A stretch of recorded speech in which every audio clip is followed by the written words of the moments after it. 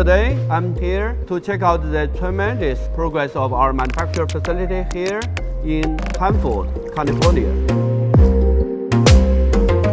We just accomplished our sixth milestone. I'm extremely excited to witness the progress we have made in the past months and share it with our users, investors, shareholders, and all the global futurists.